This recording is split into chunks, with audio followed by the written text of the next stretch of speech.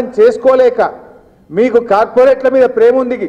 రైతుల మీద ప్రేమ లేదు కనుక సమస్య వచ్చింది. సమస్య ఇది కాదు. మీ మీరే రాసిచ్చిండ్రు. మీరు మెడ మీద కత్తి పెట్టిండ్రు. పోయిన యాసంగిలో వడ్లు కొనమంటే మొత్తం వడ్లు వచ్చినాయి. మేము తీసుకోమని మొండికేసి మెడ మీద కత్తి పెట్టి మీరు రాయించుకున్నారు. మార్చండి. మీరు మీరు నల్ల చట్టాలు తెచ్చి వెనక్కి తీసుకోలేదా రైతుల ప్రయోజనాల కోసం? ఇప్పుడు కూడా అదే రైతుల ప్రయోజనాల కోసం మేము అడుగుతున్నాం. వడ్లు కొనండి అని చెప్పి ఇవాళ మేము ప్రశ్నిస్తూ ఉన్నాం. ఈరోజు పీయూష్ గోయల్ గారి వ్యాఖ్యలని మరి టీఆర్ఎస్ పార్టీ చాలా తీవ్రంగా ఖండిస్తూ ఉంది.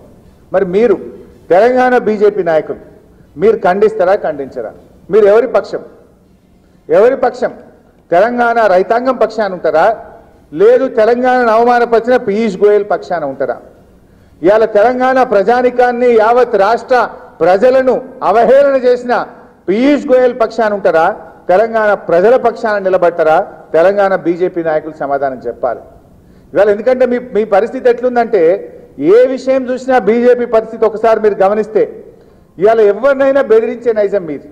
ఉల్టా ద- కేసీఆర్ ఇస్తుండని మీరు మాట్లాడుతున్నారు. బెదిరించడం అనేది బీజేపీ నైజం. ధమ్కీలు ఇవ్వడం మీ పార్టీ వారసత్వం. తెలియదా ఈ దేశ ప్రజలందరికీ తెలుసు? కవులను రచయితలను సినిమా వాళ్ళను ఇన్కమ్ ట్యాక్స్ దాడులు చేసి ధమ్కీలు ఇయ్యలేదా మీరు? కేంద్రంలో ఎవరన్నా విమర్శిస్తే వాళ్ళ మీద కేంద్ర ప్రభుత్వాన్ని గట్టిగా పార్లమెంట్లోనో బయటనో నిలదీస్తే ధమ్కీలు ఇచ్చింది మీరు. రైతులను కార్లెక్కించి తొక్కి చంపింది మీరు. రైతులను కర్రలతో కొట్టి చంపండని మీ హర్యానా ముఖ్యమంత్రి ఖట్టర్ గారు కదా ధమ్కీలు ఇచ్చింది?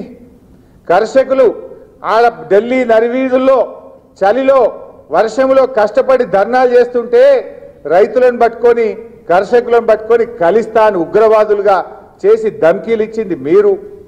మా పంట కొనండి అని మేము అడిగితే ఇది మా డిమాండ్ను పట్టుకొని ఒక ధమ్కీలాగా ఈరోజు పీయూష్ గోయల్ గారు మాట్లాడుతూ ఉన్నారు.